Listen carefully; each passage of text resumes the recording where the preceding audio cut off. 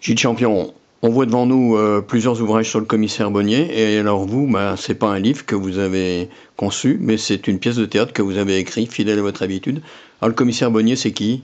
C'est un caractère lyonnais qui a été inventé par Jacques Bruyas il y a quelques années, de nombreuses années, et qui continue à travers d'autres auteurs qui écrivent des, des polars. Alors c'est un caractère un peu comme Maigret, c'est un archétype, c'est un commissaire un peu, un peu efficace, mais un peu, enfin on va dire macho pour faire simple, hein. mais bon, et qui mène des enquêtes sur Lyon, a priori, euh, sur euh, des, crimes, des, des, choses comme ça. Il est flanqué d'une jeune conjointe qui s'appelle Florence Mourguet.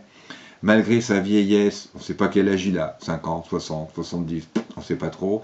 Il a un petit enfant qui s'appelle Coco, et il a un adjoint qui s'appelle Comte et puis après quoi, ben, vous avez carte blanche pour écrire un polar qui parle plutôt de Lyon. Alors pour vous, ben, plutôt de Lyon, c'était un peu dans le domaine du théâtre, puisque vous l'avez situé euh, dans l'ancien théâtre de la rue des Marronniers? Voilà, comme je connais bien le théâtre de Lyon, euh, dans ancien, et, celui qui est en cours, euh, la personne qui décède de façon étrange, euh, c'est dans un cinéma, c'est dans le Lumière Bellecour, ancien CNP. rue de la Barre. Rue de la Barre. Et donc il vient apparemment se suicider, hein, voilà, c'est le suicidé du cinéma après un film euh, sur de qui est le film bien connu sur la mort de Trotsky. Et il a à la main un article du Progrès qui euh, cite la mort de Marcel Maréchal quelques jours auparavant. Point de départ. Après, vous vous débrouillez pour trouver qui l'a tué et pourquoi.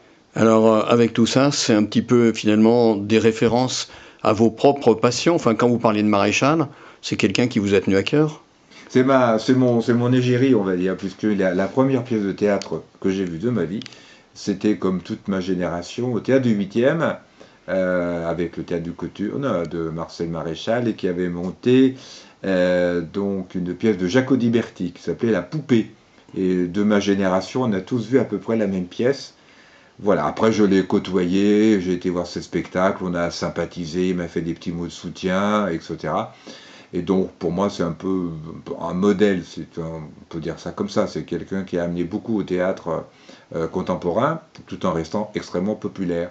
Et Jacques Audiberti dans tout ça? Jacques Audiberti, je l'ai découvert donc à travers Marcel Maréchal. Et bien des années plus tard, on m'a fait cadeau euh, de livres de pièces de théâtre de Jacques Audiberti. Et j'ai trouvé que c'était exactement ce qui me convenait. C'est à la fois picaresque, à la fois poétique, à la fois concret, à la fois une écriture excellente, enfin magnifique, une très belle langue. Jacques Berti était un poète, donc il écrivait de la poésie bien sûr, il a écrit de nombreux romans et il a inspiré toute une série de grands, de, auteurs de cinéma. Et, Claude Nougaro, si vous aimez Claude Nougaro, vous aimez forcément Jacques Audiberti puisqu'ils étaient amis. Alors, quand on monte euh, des pièces, bon, bah, il y a des formats différents. D'habitude, vous, c'est des pièces d'une petite heure. Là, on est à une heure et demie. Il y a pas mal d'actes, pas mal d'acteurs. Comment est-ce que tout ça, ça se mêle? Comment ça s'engrange? Alors, je, je, voulais qu'entre les tableaux qui sont assez courts, rapides, hein, une enquête policière, ce n'est pas des études psychologiques très très très longues, euh, qu'il y ait un, trompettiste. J'ai donc trouvé un trompettiste, que je remercie beaucoup, et qui va faire les intermèdes. Donc il avait carte blanche pour broder des petites, euh, on dit des pastilles aujourd'hui, des petites formes de 20-30 secondes une minute maximum euh, entre tableaux, le temps qu'on bouge une chaise, des petites bricoles euh, sur le plateau. Et donc il va accompagner euh, et créer cette ambiance un peu polar. Voilà, Petite référence à Miles Davis, Ascenseur pour l'échafaud Bien sûr, c'est ça, exactement. Mon point de départ, c'est ça. Et en regardant sur l'INA les émissions policières bien connues, les cinq dernières minutes et tout, etc., eh bien, il y a toujours de la trompette. Voilà, donc j'ai dit on va mettre une trompette. Et donc euh, voilà, il y a la trompette.